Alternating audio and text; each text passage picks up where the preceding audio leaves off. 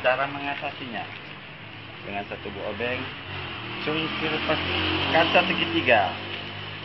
Nah, dengan perlahan-perlahan dia akan terlepas.